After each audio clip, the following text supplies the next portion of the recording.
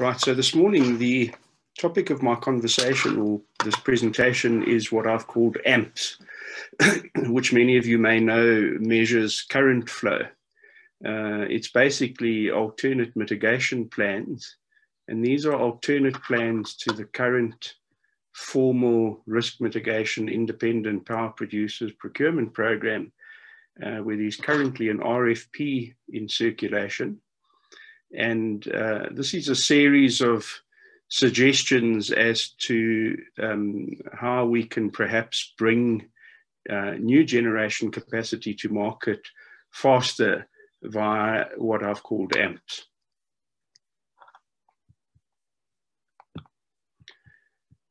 This is really going to be the core theme of my presentation today. So I want you to first of all focus on the x-axis, uh, where I've got increasing integration with the grid and with existing utility assets, uh, namely Eskom assets primarily.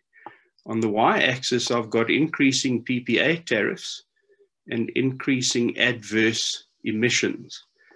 And the thesis of my presentation today, or the core of my presentation today, is going to show that the current RFP isn't making full and good use of the existing grid or of existing utility assets. And by doing so, it is uh, not taking full advantage of these existing national assets. So if we focus on the, uh, the risk mitigation RFP, um, one can only meet the fairly onerous requirements of the RFP in terms of the conditions they set by using either diesel or some other fuel or gas, which is, is less, um, has fewer emissions, but also cost will cost less. And then we can do gas and solar. Uh, and that's more or less uh, the limit of what can be done within the RFP. Uh, the gas and solar could also maybe have a bit of storage with it. On the other hand, the AMPS presentation, we're looking at solar, wind storage, and we're using um, uh, spare pump capacity that resides within uh, the utility assets. So we're really using all of the uh, utility assets to the full um, in my AMPS presentation or the AMPS proposal. And of course, we could find some middle ground there if we were able to model, modify the uh, RFP or the request for proposals and we were able to do gas, solar, wind, and storage, and take advantage of the fact that the grid would connect all of these facilities together and they should be able to communicate and talk to each other. So, in very simple terms, a, a battery sitting at a wind site, um, if it and if you had a solar site with a battery, when the solar site battery was empty shortly after uh, sunset, uh, spare wind capacity from the wind site, if it had filled up the wind battery, could be wheeled to the solar site, and that would then uh, facilitate uh, uh, double usage of the solar battery, so to speak. Okay, this is just a reminder of where we sit at the moment with regard to climate change. Uh, uh, it's, it's, it's pretty much now or never. And I was amused this morning when I saw on the South Africa Renewable Future Energy Group that Mike Levington had had put the two words TikTok uh, on a post to that group um, in response to the fact that things seem to be moving rather slowly. And fortuitously, um, just to highlight the fact that we need to move faster than we're currently moving, I've got TikTok on this particular image as well. So the clock's ticking on climate change. Uh, we're currently sitting in a position where Eskom, or as I've sometimes called him, Eskom man, has got a Herculean or Sisyphus task of trying to improve the energy availability factor of the Eskom fleet. And as he makes some gains in terms of getting this energy availability factor uh, improved, uh, if he stops and slacks off for a second, of course, you can see what happens. So I'm actually advocating that Eskom man, or it's time to break free uh, and move to the new energy generation paradigm. If we home in then on the Eskom energy fleet availability, uh, the blue line, the upper curve is the energy availability for the whole of the Eskom fleet, and the black curve is the energy availability for the coal fleet only. It's quite apparent that the energy availability factors over the last five years have been dropping rather alarmingly, uh, and uh, uh, and they continue to do so in 2020 year to date. and it's this availability factor that is um, one of the root causes of load shedding that we experience. It's worth also pointing out that about 15 years ago, the, the, the, fleet, the average fleet energy availability factor was sitting just under 90%. So I want to home in now on 2019 specifically. Uh, so we're looking at energy availability factor for 2019. The, the blue graph is a weekly plot of energy availability. And the black graph is a five week moving average of energy availability. And it's quite useful to see this because a lot of load shedding that we have or problems that are incurred are not the average because of the average energy availability of the fleet it's the variability of the availability or the change in availability. So I've plotted this graph to show where you see those green bars, it means that the blue curve is above average. And where you see red, it means we are prone or perhaps likely to experience load shedding. And I just want to draw your attention to December 2019, when many of you will recall we had stage six load shedding for the first time. the other important thing with this graph is that the integrated resource plan, which tells us what we need to do with our energy mix going forward, um, actually is based or premised on the Eskom availability factor being 78%. Uh, it's currently sitting at about 66%. And just to put this in perspective, uh, that's just showing you when, when, when the black curve is below the blue curve and vice versa. And that's where 78 is. Uh, the orange curve is the average for 2019. It's actually slightly lower than that for 2020. And yet the um, uh, integrated resource plan is premised on the fact that it's going to, that, or it assumes it's going to be 78.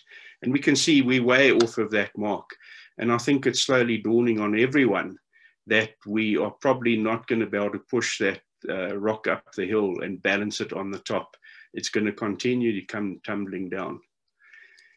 So just to highlight once again on this graph, the deviations from the average are one of the major factors leading to load shedding. So wherever you see red at the bottom of this curve, those are periods when we actually did have load shedding and where any modeling would predict we would be running light on, on, on system availability.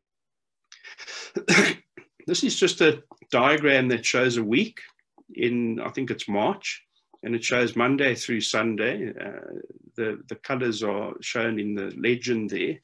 And I just want to point out that at the moment we're short of three things to secure our electricity system. The first is energy.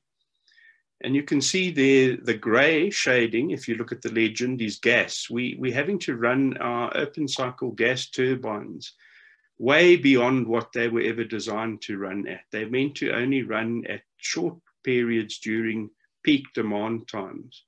And we're having to run them very frequently throughout the whole daytime period. We're also short of power. So uh, on this curve, the, the little white bit there actually is load shedding. It means we haven't got sufficient resources, nuclear, coal, Cahora Bassa, solar, wind, the rest. We haven't got enough to meet the demand at that point. So we're short of power. And the other thing we're short of that's not quite as apparent in this diagram is what I call flexibility. So our ability to move from a trough in the evening to that early morning peak, we need to be very flexible and we need resources that can be dispatched and come online and ramp up at a very high rate. Now, I've plotted the coal here as being a flat output. the reality in the South African system is that the coal plays a very important but an uncomfortable ramping role. In other words, the coal fleet is required to accelerate and decelerate to switch from nighttime, nighttime lows to early morning highs. And it's this ramping of the coal fleet that also leads to uh, a loss of reliability. Anyone who knows if you travel at uh, 90 kilometers an hour in a motor car on an open road, uh, you're going to get much better uh, uh, fuel consumption, but you're also going to have lower maintenance problems than if you were driving that car um, in stop-start fashion um, in, in, in a town or urban environment where the obvious thing would be just things like brake pads, for example, would require far more regular replacement than if you were cruising. So one of the solutions, or the solution just quickly to look at is if we immediately put three gigawatts of solar, two gigawatts of wind, and three gigawatt hours of storage into the system, we're going to get that picture. And if you compare that to the top one, you'll see no more load shedding, no more gas usage, in this particular month, and as I said, it was March, it's actually March 2019 where the data, real data is taken from. And we're actually starting to show surpluses. So where the solar pokes out above the uh, demand curve, you can see in many cases it's shaded brown, which means we're putting it into our pumped storage. So that's how quick it would be. Uh, uh, three gigawatts of solar, two gigawatts of wind, and three gigawatt hours of storage uh, would sort out uh, all three of those problems. Uh, the energy would come from the wind and the solar.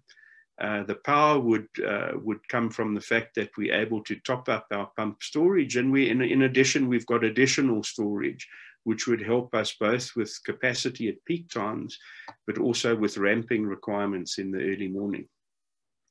So let's just focus in on the current request for proposal technical requirements. The technical requirements are that we need to add 2000 megawatts of fully dispatchable power to the grid. So we need to be able to dispatch between 5 and 9.30.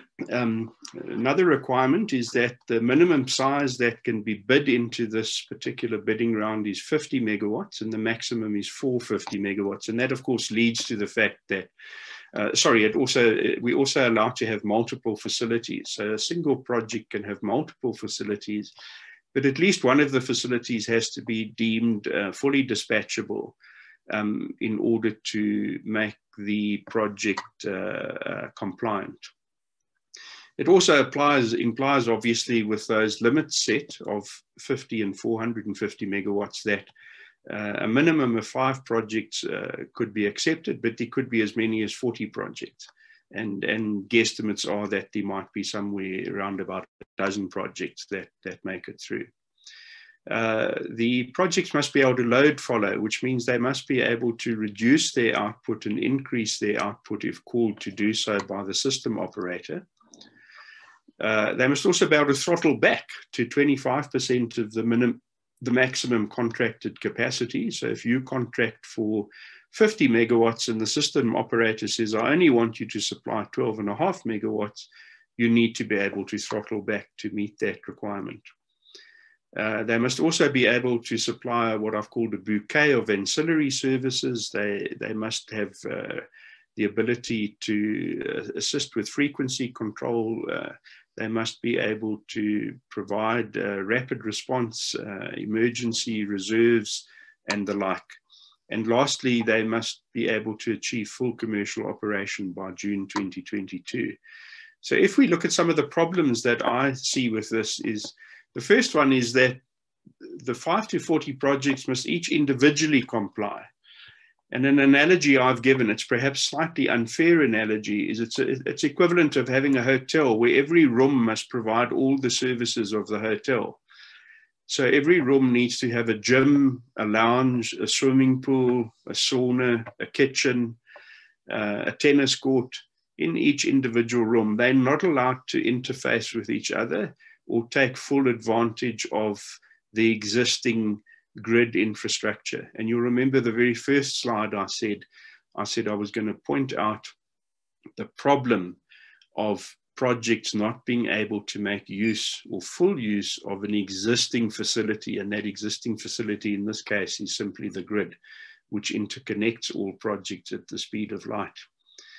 So for the RP, uh, for, for this RFP, uh, gas and liquid, liquid fuels easily meet all of those requirements. If you build a 50 megawatt gas plant, you can run at full throttle, you can run when they want you to run, you can throttle back to 25%, and you can deliver between 8 uh, and nine, uh, 5 and 9.30 every night, no problem.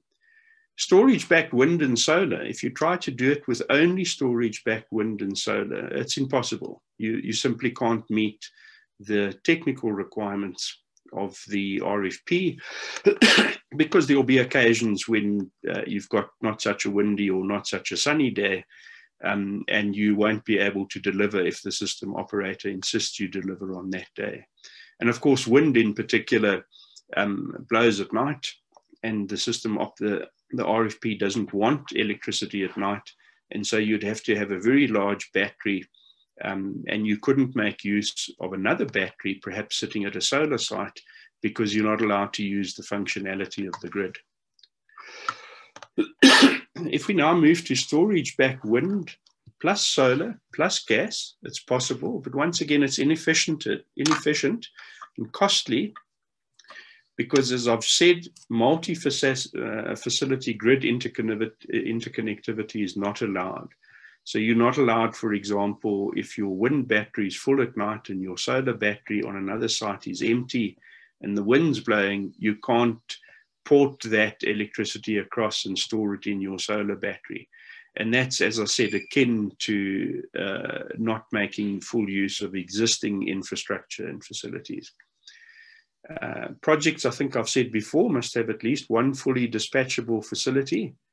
Um, and the other uh, problem is that uh, given that, that the front runner here is all projects will have to have a large component of gas, the way the RFP is structured, um, uh, and, and that these uh, bids have to be made on the basis of 20 year power purchase agreements uh, we'll be locking in long-term emissions. And, and although many would argue that gas emissions are lower than uh, coal emissions, others would argue that uh, methane leakages in the gas supply line, uh, together with CO2 emissions during the actual burning of gas, uh, collectively possibly add up to as much uh, total emission as, as what coal does.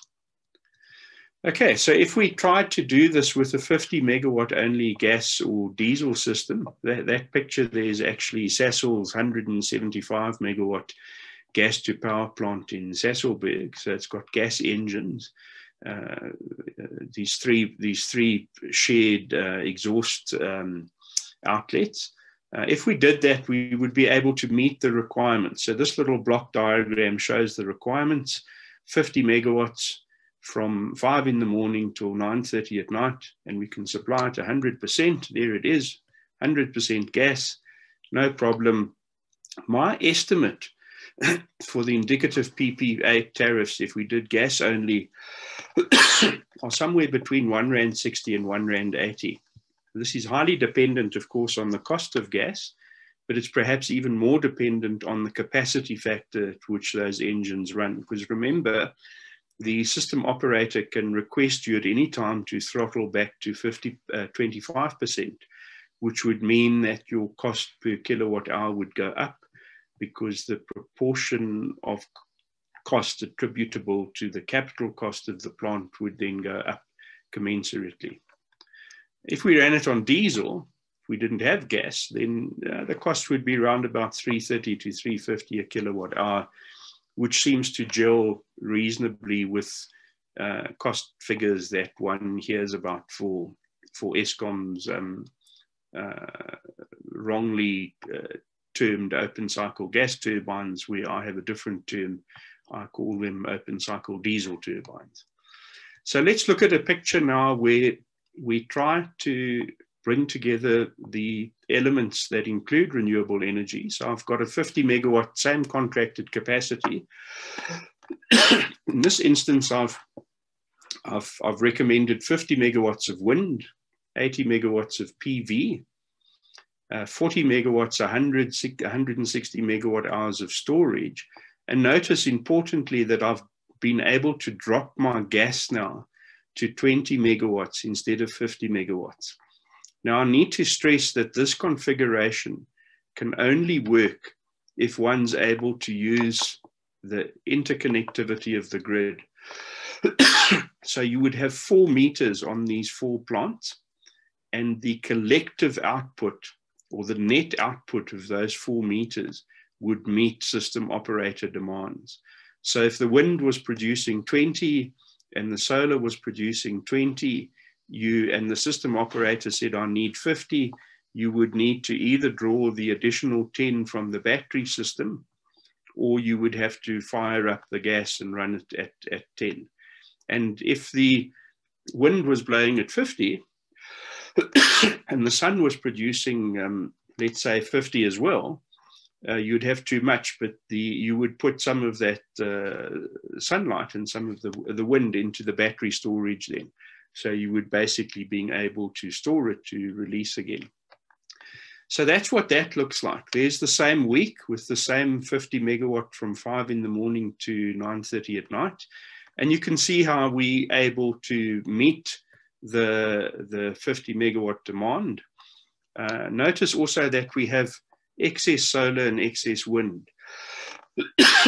and if we're able to make full use of the grid, we should be able to sell this excess into uh, other markets. So we're delivering what the RFP requires. And we could, for example, sell that excess into the South African power pool or to a customer who's keen on purchasing some of that.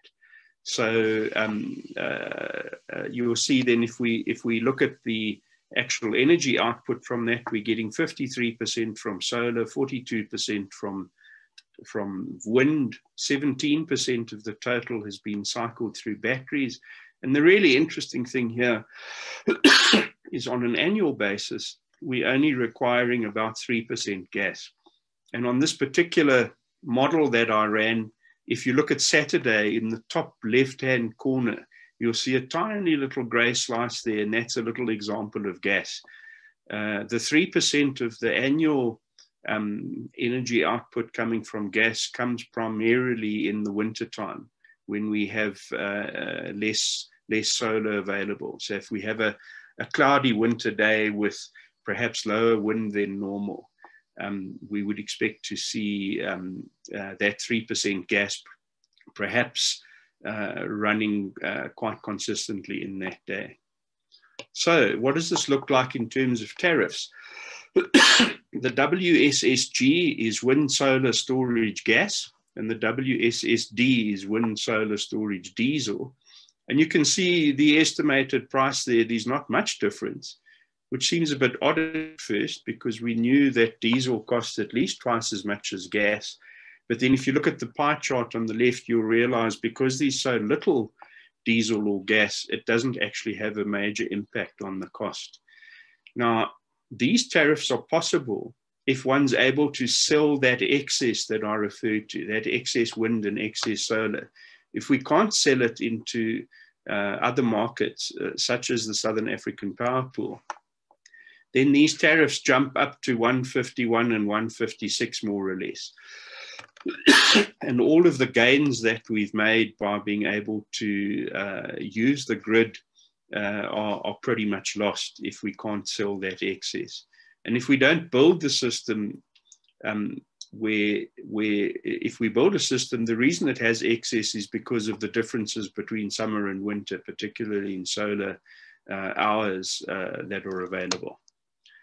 So let's move on then to amps and have a look at what other um, facilities within the uh, within Eskom and the national um, energy supply system we might be able to use. Uh, these are Eskom's three pump storage, uh, uh current pump storage facilities. in Ingula at 1.3 gigawatts of power capacity. Drakensberg can, can churn out uh, about a gigawatt, and Palmit can do about 400 megawatts collectively, uh, it's about 2.7 gigawatts of, of power capacity. uh, and it can do that for about 20 hours. So it's got 20 hours of, of storage and, uh, and a sort of a bottleneck, if you like, of 2.7 gigawatts. this is a month in January 2019, showing more or less how this pump storage works. And you can see the, the, the green is, is generating from pump storage, the brown is recharging, and the blue is the level of the upper dams or, or an indica indication of how full those pump storage dams are. Just to put it in perspective, that's Monday, that's Friday, and you can see what happens. The pump storage decreases during the week from Monday to Friday because we're releasing more than we have the opportunity to replenish. And there's a couple of important factors here. One is that you'll see we're never actually generating at full capacity, which would be 100% on the y axis. And we also seldom charging at full capacity. now, partly that can be due to, to one or other of the turbines at one of these facilities being, um, being on maintenance. But generally speaking, it's because the pump storage serves multiple purposes, one of which is to act as reserve capacity. So if you're running it at full tilt, you can't count what you're not using as reserve capacity. In other words, if you're releasing it to 2.7 gigawatts, you can't say I've still got 2.7 gigawatts of reserve. And then clearly we don't have enough energy, as I saw right at the beginning of this presentation, to refill it in time. So there's a form of rationing. And you can see from Monday to Friday, we kind of letting the water out so that by Friday it's more or less empty. And then over the weekend, whew, we can fill it up again for the next week. And that's more or less the way it progresses. Um, so it's a question of rationing, a question of holding back to uh, make sure that there's still reserve margin and then thirdly, there's just simply not enough energy to, to, to retop it up. this shows the usage of the pump storage uh, in generation mode over a year. And you can see on average, we're only generating slightly less than a gigawatt or a thousand megawatts. Whereas we could be, we, we could be running at 2.5 gigawatts quite comfortably. the reason we can't do that, remember, is that we often need to hold back some of this um, to provide reserve margin, and we also need to hold it back so it doesn't run out on Wednesday. So instead of having load shedding uh, of, of stage four on Thursday and Friday, we kind of ration the water and we have load shedding of stage two throughout the week. Uh, and that's pretty much the rationale. So it's underutilized capacity. It could be producing at a higher rate if, if other parts of the system were, were cooperating. Uh, in terms of refilling it, we generally only refill it at about 1.8 gigawatts. Uh, there's a very smooth curve, and then that that that wobbly sort of curve beyond the black line, the black vertical line, just reflects a desperation filling of it, often in conjunction with load shedding. So about a month ago, on a Saturday afternoon at two o'clock, when the sun was shining, we had load shedding at stage two at 12 o'clock and I can tell you now, quite categorically, that load shedding was to make space or to provide spare energy to be able to replenish the pump storage resources. So we were actually experiencing, experiencing load shedding on a weekend in South Africa in order to release enough coal and other sources of generation to be able to pump the pump storage back to a full state over the weekend so that on Monday we would have a we would have full tanks, so to speak. And you've often heard people from uh, the uh, marketing division of Eskom saying, uh, we, we've run low on our reserve margins of water and diesel. And what they're really saying is we need to pump water up. Now, remember, in order to store, you need a surplus. And that's one of Eskom's problems is they don't have a surplus to store. Right, remember, uh, we, we have a shortage of energy, power, and flexibility. And if we put in the three, two, and one, as I've suggested there, we sort that out. This just takes a quick look at, at so-called ramping rates. In the early morning, we have to ramp up. So the graph second from the bottom, the demand curve, the red one, shows the one hour ramp rates and uh, it's for, I think it was for January 2019.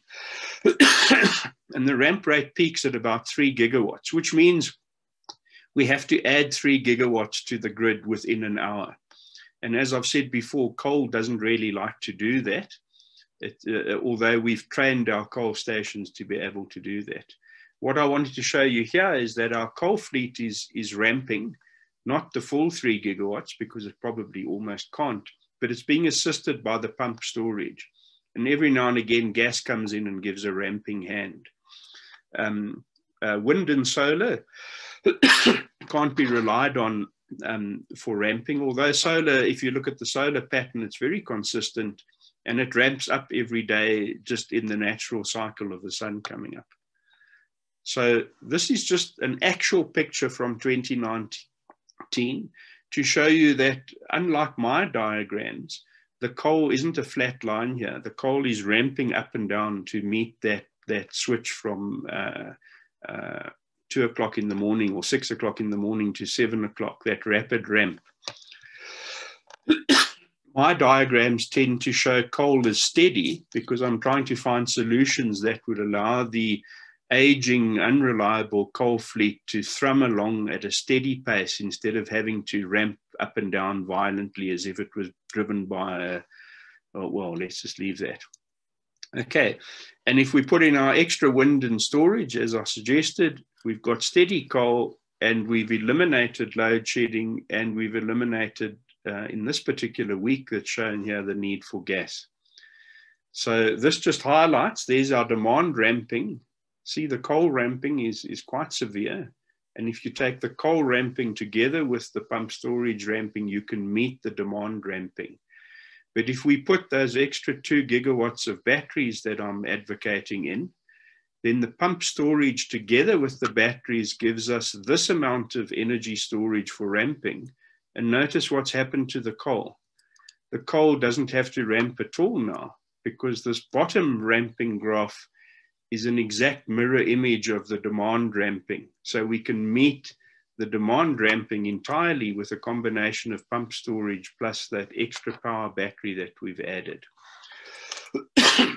so let's look at it then. If we add three gigawatts of, of PV, two gigawatts of wind, and two gigawatts, three gigawatt hours of what I've called power storage.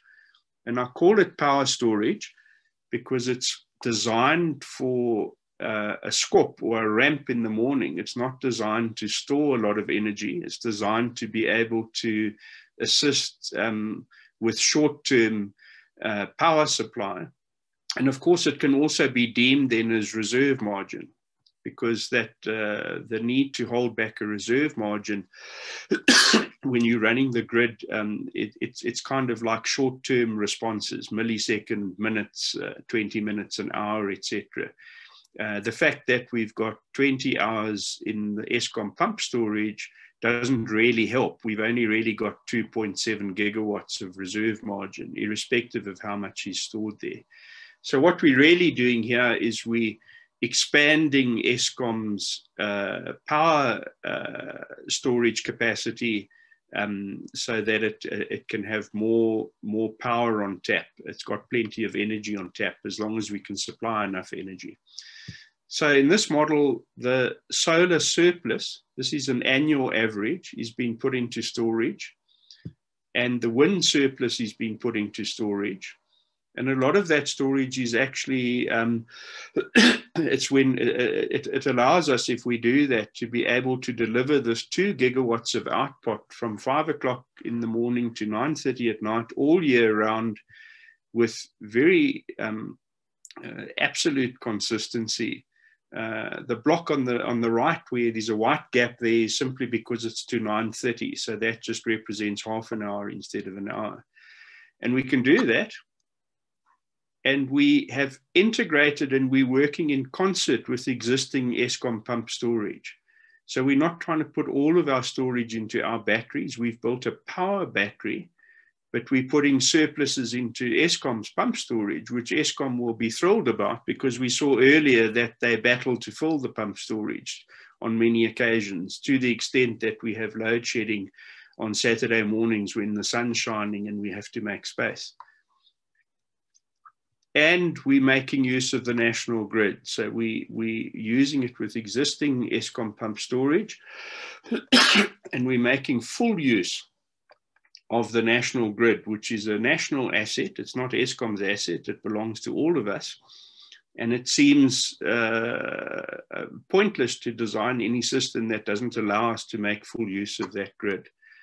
And that's the indicative price that we could deliver at in this model. If we build three gigawatts of solar, um, two gigawatts of wind, uh, two gigawatts, three gigawatt hour of power storage, and we were allowed to have all of these facilities talk to each other because we wouldn't build all of that on one site.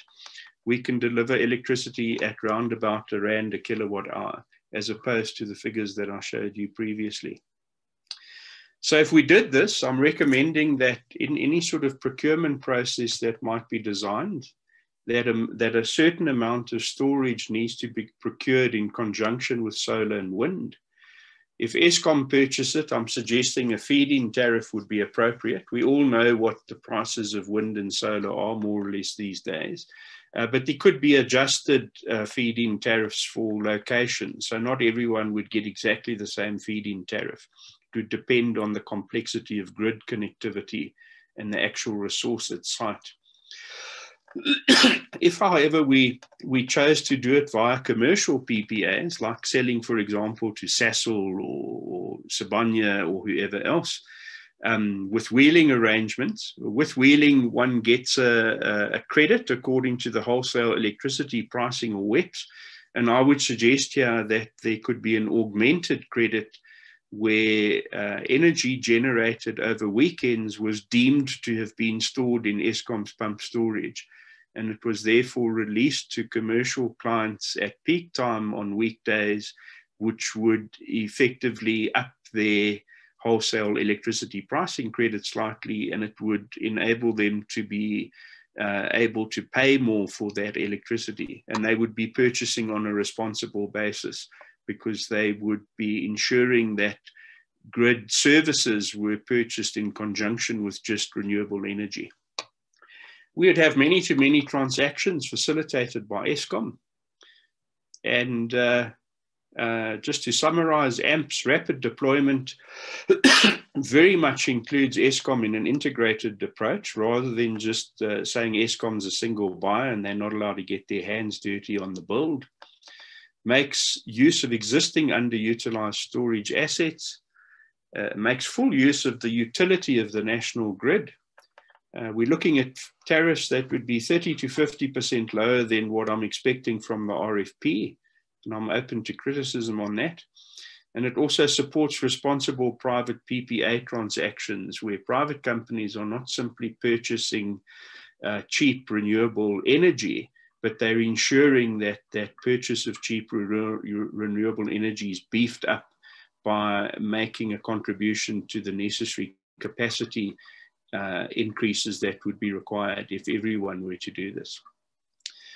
So I just want to revisit the pump storage quickly. That's just a week from that previous diagram. And I want to show you what the pump storage would look like if we did uh, if we if if we purchased or built three gigs of solar, two gigs of wind, and uh, two gigs of of power storage, that's what pump storage would look like on a basis. So you would see we would be we would be running it at full capacity when we were generating, and we'd be recharging it at full capacity, but it would never actually drop during the week. So it would be sitting there as a fantastic uh, reserve margin and it would be operating less, in fact. But when it did operate, it would be operating at full uh, power capacity because there would be no constraints on having to hold it back to ensure that we had the necessary power reserve in reserve. Because remember, we would have that two gigawatts of battery sitting there at the same time. So we can go back to this diagram just to remind you that's the RFP, that's the amps, that's a modified, and I've just put some numbers on this one to remind you of the kind of numbers we're talking at. So in the amps, the full amps version, we're looking at about a rand a kilowatt hour. In, in a modified RFP where, where grid um, utilization is allowed, grid flexibility, we're looking at uh, uh, a small gas plus solar plus wind plus storage. And in the current RFP, in the mode it's in, we, we restricted to pretty much doing uh, gas only or gas and a bit of solar, and we're not making full utilization of the grid. So just a future amps, uh, it's what I call Project Fibonacci. Uh, we actually need an annual build, in my opinion, of eight gigawatts of solar, five gigawatts of wind, and two gigawatts of storage. And if we did that, we can cost effectively retire the entire coal fleet by 2030. And some people who think this is crazy, I always remind them that half of the coal fleet is already retired if we look at the energy availability factors.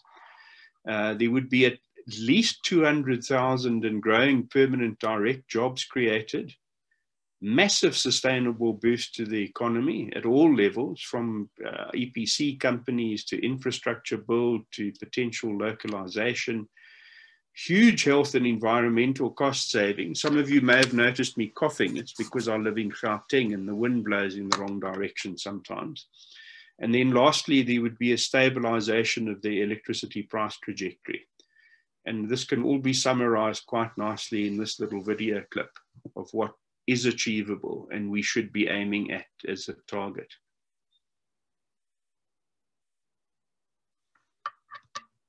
Thanks very much. I'll stop sharing and we can open the floor to questions. Uh, Clyde, we have some questions uh, from the text chat if you'd like me to draw your attention to them. Yeah, thanks. Okay, Mark asked, please use words and not acronyms.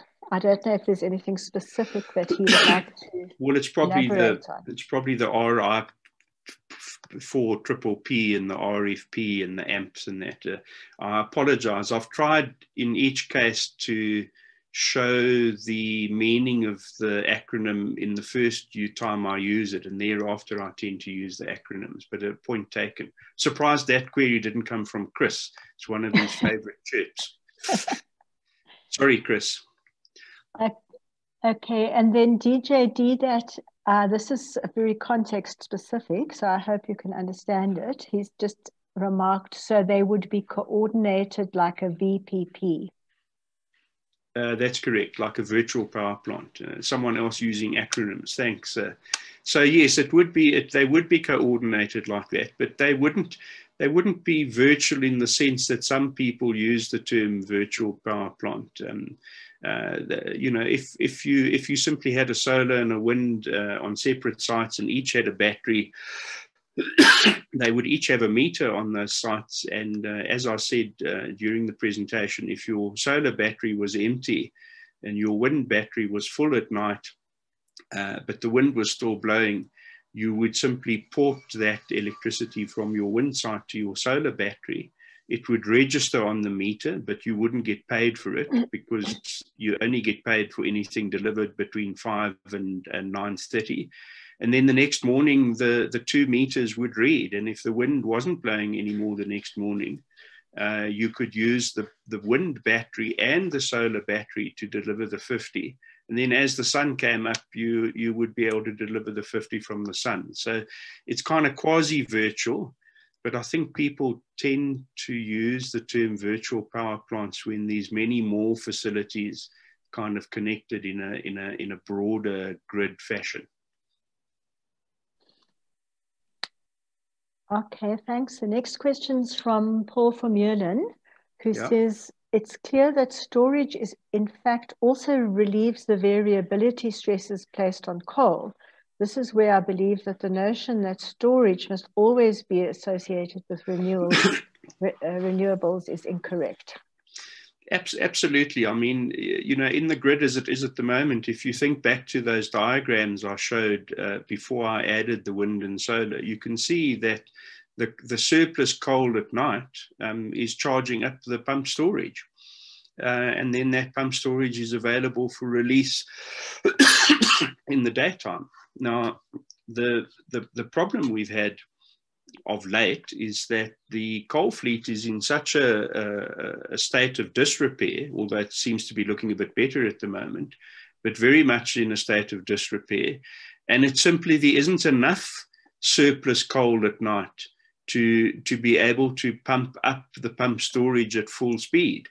So um, yes, uh, but but certainly the pump storage and the coal have been working in lockstep uh, forever, basically. And uh, um, you know the ability to to relieve the coal of having to play those ramping duties in the morning will have a massive impact on the reliability of the coal fleet.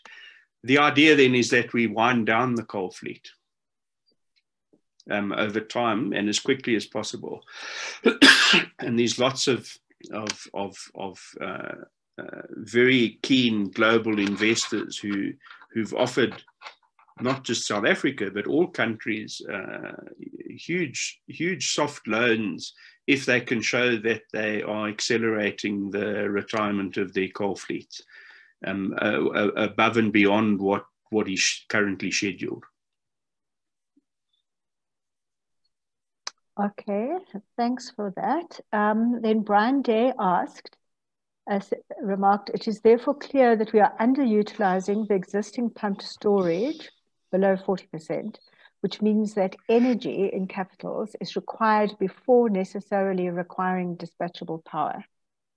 Therefore, renewables that can be built more quickly than gas plants Absolutely correct. more urgent, yeah. Yeah, ab- absolutely correct. I couldn't have put it better myself, but I don't want to seem to be biased.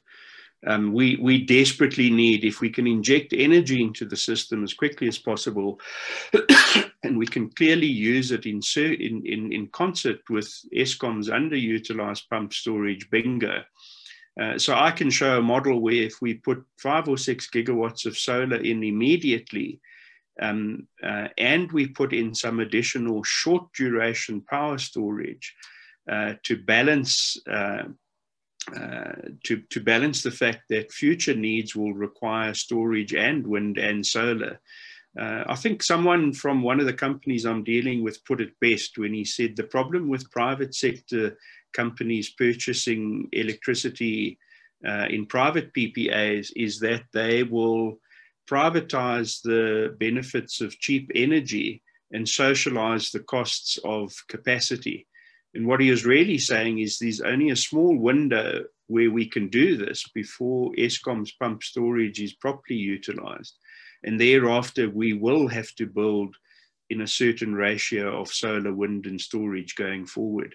And so if we if we uh, kind of slip in under the net now and don't build storage in conjunction with new uh, renewables, uh, we we will suddenly have to catch up and build more storage in future. But the fact that we've got spare capacity in the pump storage is brilliant to us as a country because we don't necessarily need to do that immediately, and we can wait for storage to become cheaper. So we can say instead of building too much storage now. We can do some of a power variety, but we can then link it with Eskom's pump storage and uh, buy ourselves two or three years waiting for the price of storage to, to drop further before we commit to very, very big storage projects that we will definitely need in future. Thanks, Brian. Okay, uh, Chris Yelland uh, has a general question for the participants. Is anyone from the DMRE and the IPP office uh, present at this presentation? Perhaps if anyone is, they could just uh, type that in the uh, text chat. And so we'll go straight on to the uh, to a question from ZB Kotzer. Clyde, unfortunately, your webinar represents preaching to the converted. The question is, how do we get the message out there? For example, Andre Ruyter, IPP office, Gwede Mantashe, etc. Right. Well, um, uh, ZB, you'll be pleased to note, and you'll know that I've been banging this drum for some time, and, and I've decided in because of the urgency of the situation and the need for a, a massive economic recovery post COVID, uh, I, I, we can't wait anymore. So I'm I'm giving this particular webinar, we I did have people from NERSA and the DMRE registered. Whether they actually attended or not, I can't say. So there was a Gareth Poseidon from the DMRE that was in attendance. And there were also a number of people from NERSA, and I've also got a number of uh, people attending from Eskom. So what I've been saying here today is not really a secret. Um, and the way I'm trying to move it forward is to try and find some common ground with the IPP office to rethink the rules that they've set with the so-called emergency RFP, to recalibrate them to, to open uh, space for a flood of fast-to-market renewables. I think it was Chris Yelland who posted a thing on the Energy WhatsApp group the other day that said that the Chinese have just commissioned a 2.2 gigawatt solar farm that was built in under a year, uh, if I'm not mistaken. So it's certainly the quickest route to solving our um, problem with regard to a lack of a lack of energy, and then the fact that if we couple it with these power batteries, we sort out our capacity problems as well. So yes, I, you, know, my call is to everyone: is let's let's let's have a real emergency procurement program, and let's not.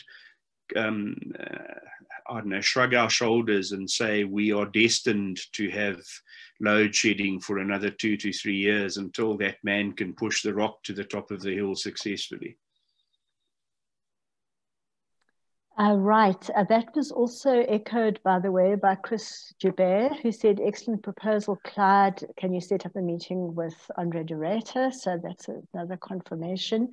Uh, Daryl Hunt has asked, how would the picture change once we retire 10 gigawatts of coal? Is it merely the same concept, but at scale? Uh, absolutely. I can I can refer people to an article I wrote recently in uh, Energize magazine called "Dancing to the New Generation." And the interesting thing is that if we build um, uh, wind and solar and storage at scale, we very quickly reach a point where our ability to meet our current electricity demand is actually easy we we in fact we over we over deliver and the point about over delivering is that that surplus electricity uh, would start to become available for transitions in other sectors such as transport and industrial heating and cooling.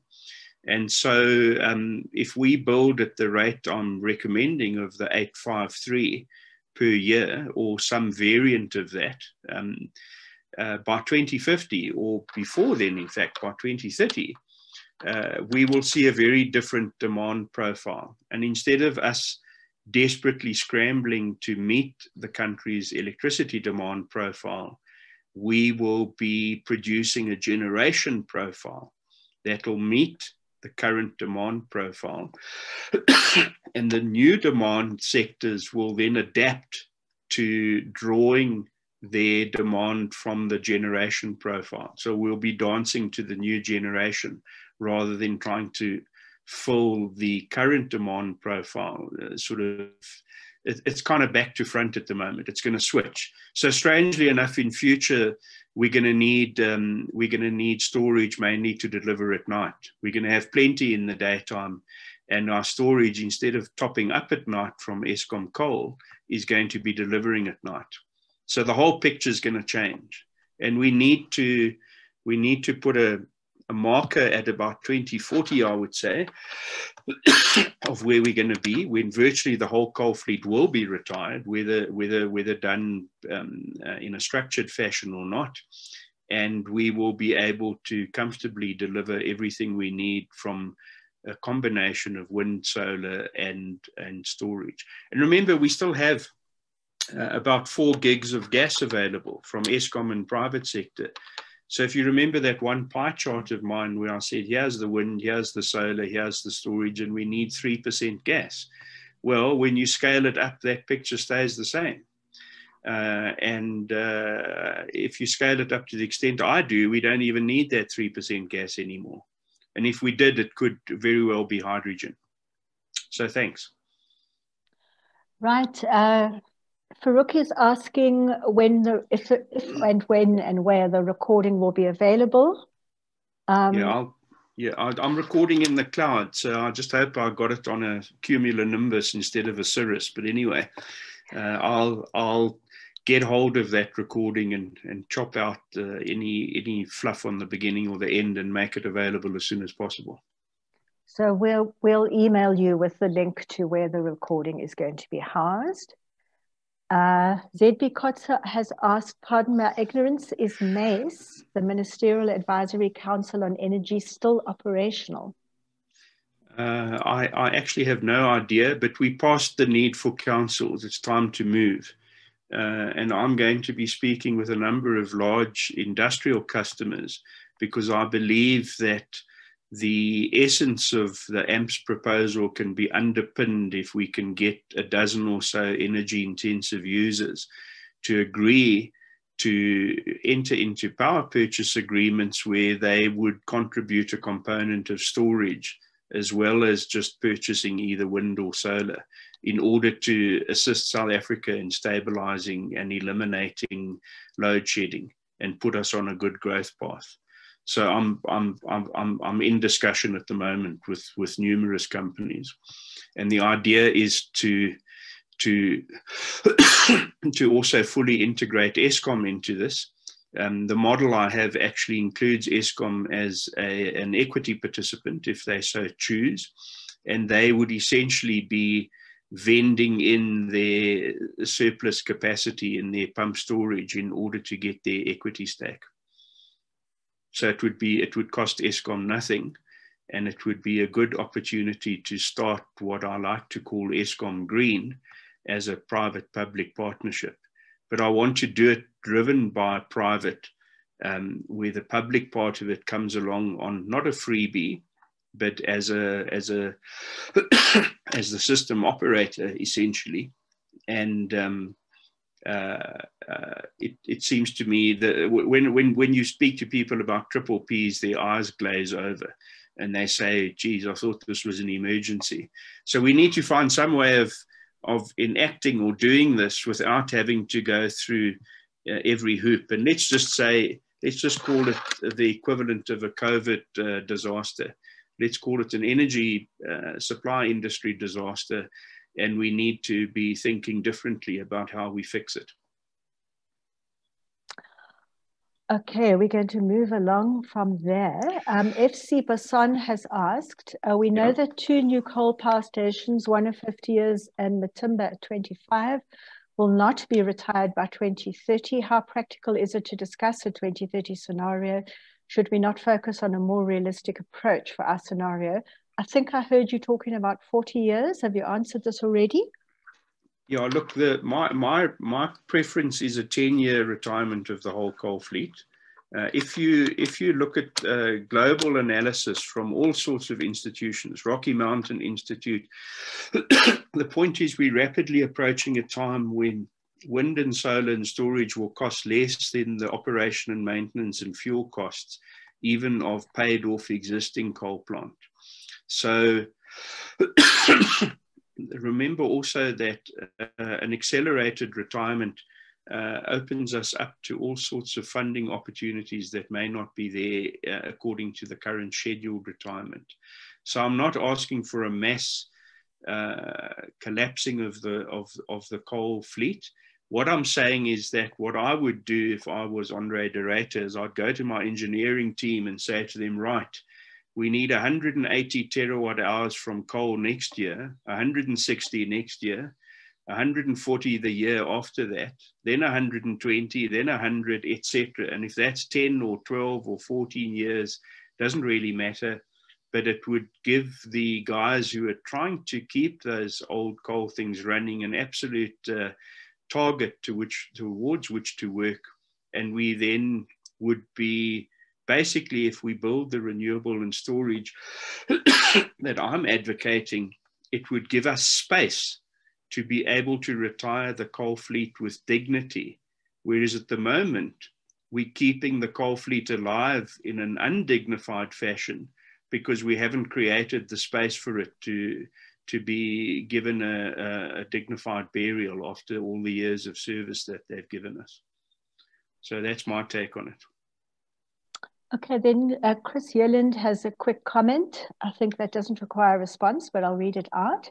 Thanks to Clyde for a really important, clear presentation, free of the nonsense we so often hear on the need for energy mix involving coal and nuclear and hydro from the DRC. I just wish people from the IPP office and DMRE would wake up and listen. Uh, thank you, Chris. Uh, then we have a question from Paul Vermeulen. Considering the grid extends into the municipal areas, locating the storage yes. at sensible sites on these networks could bring additional value by relieving stress on those networks, still with Eskom as buyer and, and dispatcher. Is there enough of a correlation between the national load peaks and the municipal peaks? Paul, Paul, that's perfect. And in fact, we we we in discussions with numerous municipalities. You know, you and I have had discussions, the IPP office, the RFP, absolutely forbids the placement of batteries uh, away from either a solar or a wind plant. So if you're going to build a solar farm, your battery has to be co-located to be able to, um, that's it. So uh, it, it, it, makes absolute sense to rather place the batteries within the metros, uh, closer to the distribution side of the grid, because they'll still serve all the same purposes uh, for for the grid in terms of um, um, uh, rapid response, ancillary services, etc. But they would also prove a massive uh, aid to uh, with inside municipalities where they would alleviate uh, bottlenecks and pinch points on your network at peak times. So yes, and this is this is where I'm really calling for. I, I believe, and this is a personal opinion, that this emergency response should be driven uh, primarily by Eskom with assistance from uh, uh, consultants or whatever, if that's even necessary, because we need to go to war on, on solving our energy crisis, and Eskom is basically our energy army. Um, uh, if we were going to war, I would want to send the army rather than parliament uh, or whoever else to fight on our behalf. And so I firmly believe that the skill set exists within Eskom, and they just need to be given the encouragement to to be uh, to be allowed to participate in ways other than just being seen as being the designated single buyer. So yes, I I I think working on a team together with Eskom to solve this would be a, a far faster solution uh, than what seems to currently be happening and I don't know how to make that happen. I'm, I'm, I'm, I'm certainly in for it, in for it. So. Okay, we're going a uh, little over time, so we need to uh, be quick with the remainder of our questions. Uh, but as, as Clyde said, these are, will be recorded. So if you do need to move on to another meeting, we'll still have the recorded responses to these questions. Uh, Les Langer asks a question. It might be rhetorical. Uh, the AMP seems much greener, cheaper, and faster to achieve. Why is climate change not important for the DMRE and policymakers? Why lock in gas for 20 years? Uh, look, I don't want to comment on what might be underpinning the the the IPP office RFP. It certainly is is is gas oriented. Um, the one thing I must say that surprised me is when I went to the IPP uh, bid conference in January before COVID lockdown, uh, all the talk was around short-term uh, PPAs, two years, three years, five years. Uh, we'll only let you do 10 years. If it was all short-term emergency stuff, power barges in the harbors, you name it. And then suddenly, imperceptibly, I think at the online bidders conference the other day, someone said, are we allowed to submit a PPA that runs for less than 20 years? And the response was very quick and very categorical no, it's got to be a 20 year PPA. So um, it looks to me as if, as if the RFP is looking to lock in long term power purchase agreements. And because it's, uh, it's almost impossible to do without a gas component, you know, a, a, cynic might say it's it's looking to provide an anchor off-taker tenant for a for a big gas industry in South Africa when the rest of the world, those who currently have very good gas infrastructure and live close to Henry Hub or wherever else, are, are, are getting out of gas as quickly as they possibly can. So it just, I don't know. I, I don't want to step on any toes there, but it, it does seem inconceivable and irrational, quite frankly. Thank you, Clyde. Um, a question from Ronald. What is yeah. the impact on the tariff to support your suggestion? Well, the, on the, if, if it's the current tariff, it, it, it'll align well with the current Eskom tariffs. If it's compared and contrasted to what I expect the tariffs of the RFP to be, it'll be significantly cheaper. Uh, the other thing is that the the way I've modeled it, the private sector companies, if they did it that way, would pick up that tariff tab. It wouldn't be on Eskom's balance sheet. And it would come in at uh, slightly less than the current wholesale electricity. So the credit they would get from Eskom from WEPS would be slightly greater. The main savings I see as a country and to Eskom, in fact, is uh, a 20 fold reduction in the need to run the OCGTs and an end to load shedding uh, as quickly as we can build the, at this at scale. So it would be it would be tariff it would be future tariff positive, and very importantly, it would be looking at starting to design an end use system for 2040 today to make sure that the components we put in place mirror that.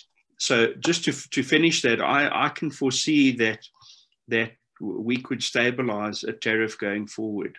We probably need a, a tariff at the moment of about one rand twenty um, going forward, uh, but we would be able to stabilize that tariff and possibly even have increases that were lower than CPI going forward.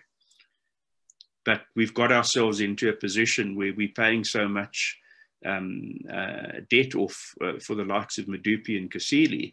If we could somehow make Medupi and Kusile and all their debt disappear, we probably could uh, lower the current tariff, would be my response. If, if we could park all of that debt somewhere else. Okay, and there's a question from Naledi M. Factoring the cost variables between the different energy sources, is there a particular criteria that the system operator utilizes to prioritize preferred energy source in order to mitigate cost exposure? Yeah, look, that's a complicated question. Uh, in, in open free markets, the system operator normally dispatches what's cheapest at an instantaneous point in time. The problem with South Africa's uh, independent power producers program is that it said that the system operator has to buy any wind and solar. And that is typically what happens in open markets because that's the cheapest electricity. There's no marginal cost. Uh, there's no fuel or anything. So if the wind's blowing and the sun's shining, your plant is producing. But it's also why in certain uh, jurisdictions they've it's led to negative pricing, where the system operator doesn't want that extra wind or solar because the system's got too much, and and they actually pay people to take it, so to speak, almost like what happened recently with the with the um, oil price, uh, where, went into negative territory for a while. So it's complex, uh, but the, a, a, quick, simple answer to that would be that that uh, the role of storage will become more and more important, and as the market opens up, that will become more apparent. And so uh, I imagine that. Uh, electricity tariff structuring as we currently know and understand it is, is set to change significantly. Um, but whether that will be in a controlled NERSAIC kind of way or whether it will be in a fully open tradable market, I'm, I'm not certain. What I do know is that the, the cheapest solutions going forward all are various combinations of wind, solar, and storage. It's as simple as that. Uh, and in South Africa, we're very fortunate because our interseasonal variability on solar is nothing, nothing like the interseasonal variability in much of Europe and, and, and many countries around the world. So we're, we're able to get away, if you like, with, with far less storage than, than is required in some of these uh, higher latitude uh, countries. Okay, thanks. Uh, ZB Kotz is asking, uh, Clyde, do you perhaps have a number for the PJ slash A gas required based on the latest bidding round requirement? Petajoule per annum, Clyde. yeah, I, I, I, I struggle to switch between petajoules and uh, and uh, terawatt hour. Can I get back to you on that one? I can't do it in my head. I know that um, uh, if we go gas only, it'll be quite a lot because it'll be 2000 megawatts of gas engines or, or, turbines.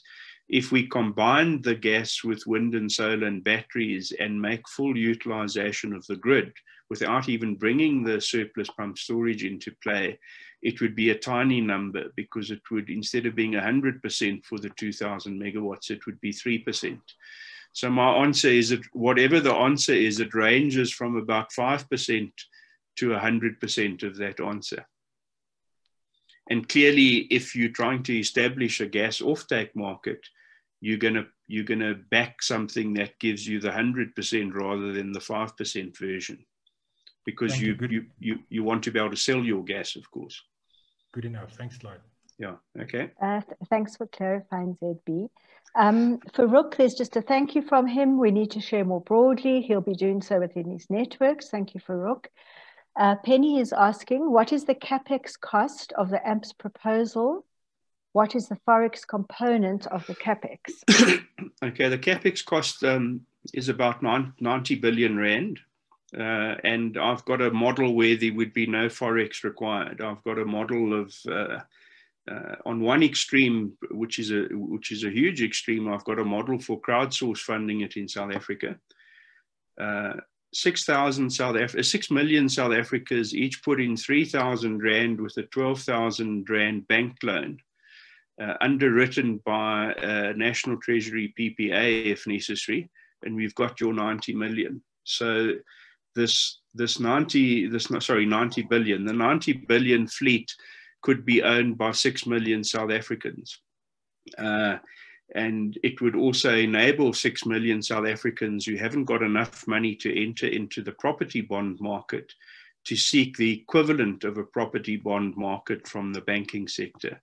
So, in very simple terms, uh, you know, Clyde Mallinson comes along, he puts in three grand, he borrows 12 grand from uh, Bank X, uh, and his dividends from this uh, would be sufficient to service the, the, the 12 grand that he's borrowed and leave money in his pocket. And within a year or two, he would be able to um, have recovered his three, his, his three grand that he put in himself. And ideally, if that then got listed in some way, it would also make it liquid. So I actually don't believe personally that we need any forex. We just need ways of tapping into our multi-trillion rand pension funds in a sensible fashion, other than just uh, dumping it into Eskom debt.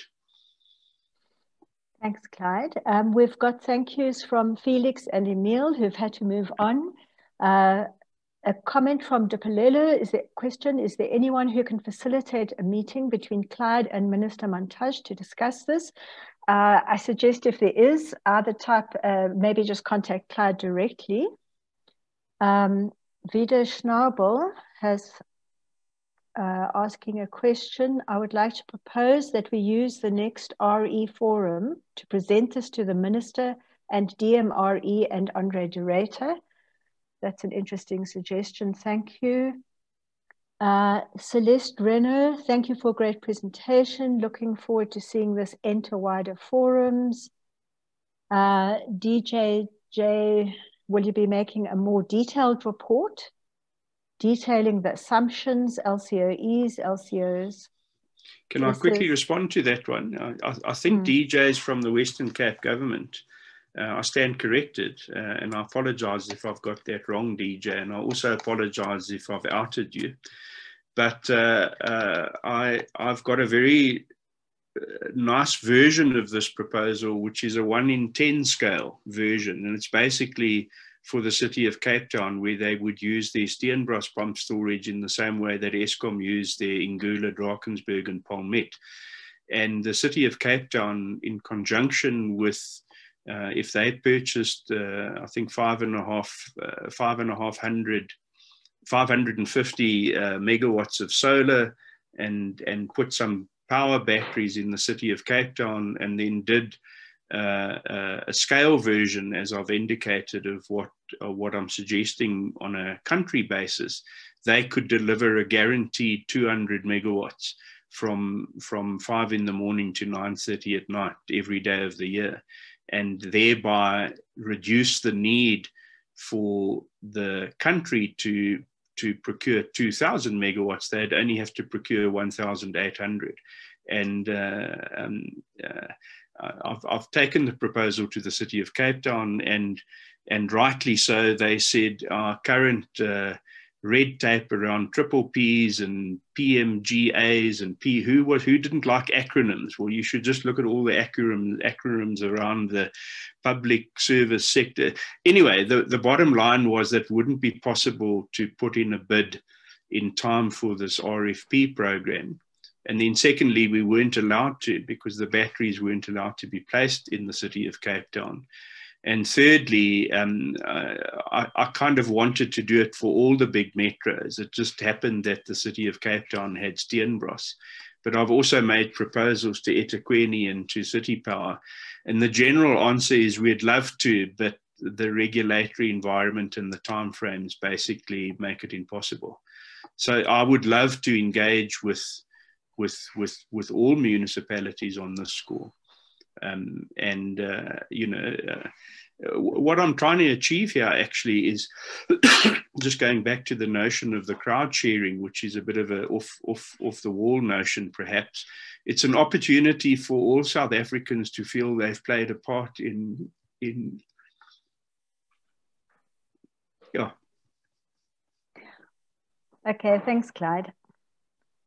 Um, Penny's got a follow up to her question. Clyde, just to clarify the Forex question, what, what of the capex will be imported at, and at what rate of exchange are you converting the imported capex? I think the crowdfunding idea is a great one. Okay, well, the capex, the capex coming in for solar uh, we most of most of the funding will be, most of it will be imported. Unfortunately, we put a knife into our local manufacturing capabilities in South Africa. So we had companies who were who were laminating solar panels. We had companies who were making wind towers. Um, I think in this emergency procurement, first of all, we, we must recognize that it's going to be Forex. Uh, we're going to have to import a lot of the stuff. But if we can build the kind of pipeline that I'm looking to build, I have it on good authority from a number of solar manufacturers at least that they would seriously contemplate putting up a full blown uh, solar factory here. But then they need the pipeline. It can't be a stop start affair. Um, so, uh, Penny, just to answer your question, I used an exchange rate of um, uh, 16.5 to the dollar. And I also used uh, uh, EPC costs for solar and wind and storage that were somewhat conservative. Uh, certainly, they're conservative if you spoke to someone like Anton Eberhard. Okay, th uh, thanks, Clyde. Um, uh, that is the last question in the chat, so I'll hand back to you to field any possible audio questions. Yeah, I don't know if anyone wants to, it's getting late. I've I've got another webinar with the Benchmarks Foundation all afternoon this afternoon, so I'm going to need to. But I can certainly, if anyone would like to unmute themselves and ask a verbal question, feel free. Well, Clyde from Vido here. Thank you very, very much. This was a brilliant presentation, very easy to understand, although there were a few acronyms. But um, I think, um, as somebody said earlier, preaching to the converted we'll try to get you an audience um, with uh, the minister and uh, Mr. De Ruyter. Thanks, Frida. And, and thanks for the support. Um, ZB is commenting over here, CSIR anticipated load shedding going forward, and there is a link in the chat which people might find helpful. Yeah, um, one of the things I didn't want to to to uh, spend too much time on because it's an old chestnut of mine is the cost to the economy of load shedding. And uh, you know every day that we can bring new energy capacity into the system is a is a potential day of load shedding saved. So when people are trying to chase uh, uh, procured prices down to the bottom, so to speak, to see if we can get solar at 59 instead of 50, instead of 61, or whatever the number is, um, what they're missing is that the time taken to arrange all of these procurement uh, things, uh, probably every month that we delay uh, would result in X amount of load shedding, which would probably add one cent onto that cheapest price. So if we delay by 12 months, we could have a price that was 12 cents higher than the IPP office lowest bid price, and it would still be better for the country and the economy. Um, but I, you know, I, I, think everyone's aware of that. I, what they're perhaps not aware of is the the ability to leverage and utilize the the grid and the pump storage assets that we currently own collectively as a country. Um, Clive, Clive. Yeah, yeah. Hi, Penny. Hi, Clyde. Um, and can you just give me the split between the various uh, um, technologies, the wind, solar, and storage, in terms of capex? Yeah, I'm looking at the the. Well, look, if if I, the numbers I'm saying there, the the solar was three gigs, so that would be about. Uh, take it at uh, to be safe. Take it at 0.7 dollars a, a watt. So it's so it's three, it's 20, 20, uh, 2.1 million. Is that right? If I done the numbers correctly. Two, two, four, if I did three gigs, it would be, anyway, I'm, I'm using a number of around about $0.7 a watt for solar, and I'm using about $1.1 a watt for wind. So the solar and the wind dollars come to a very similar number because I've got more solar than wind. And then the storage is highly dependent on whether you integrate it with Eskom pump storage or not. So if it's integrated with Eskom pump storage, your storage costs are much lower because you've got high capacity, low storage storage. Uh, and if you don't integrate it with Eskom, your cost per kilowatt hour is less, but you've got to have more kilowatt hours available. So the storage costs range from about $300 a kilowatt hour to $700 a kilowatt hour if you go for a power version. In other words, a, a, a one megawatt battery for, or one gigawatt battery for half an hour would cost you a lot more per kilowatt hour than a one gigawatt battery for four hours. So the splits are, are more or less equal for wind and solar and approximately uh, uh, it's probably about 25% for storage. So it's kind of like, what would that be? 40, 30, uh, 37 and a half, 37 and a half, 25, something like that.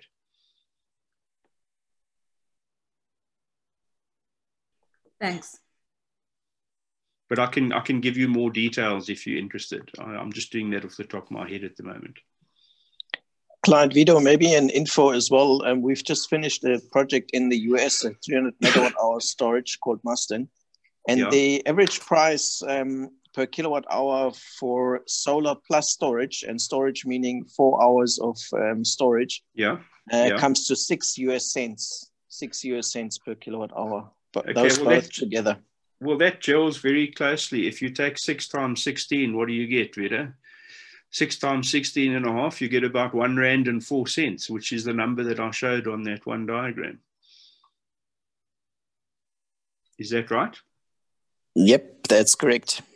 Okay, get your calculator out. 16 times six, okay. 60. Yeah, okay. yeah, so yes, it's it's it's it's of that order. Uh, you know, sometimes when people quote very very low prices uh, for these things, you have to be very careful. So I think I've seen some people say they can do solar plus storage at four dollar cents.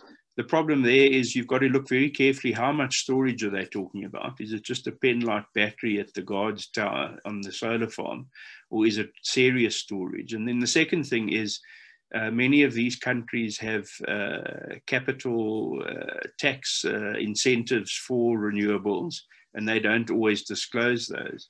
And then the third thing is in some of these countries, they pay negative interest rates virtually. So it's quite difficult to do direct comparisons with South Africa. But certainly, I think we can do wind and solar with four hour storage at around about $6 cents a kilowatt hour. That's the right number.